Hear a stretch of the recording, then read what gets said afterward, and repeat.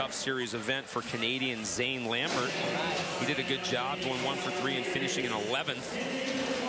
Tonight he goes up against El Patron. This is a great bull out of the Great Sour Tequila.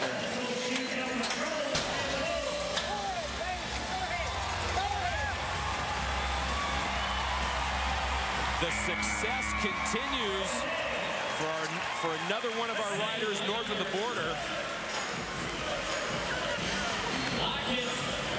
Lambert's got to like the speed of El Patron and the stats on this bull continue to be rider friendly. Yeah, this is a bull that at this level, if you doesn't, if you don't stay on, this is this is no place for you. This is a guy that's supposed to ride this bull every single time, and he does just what he has to do.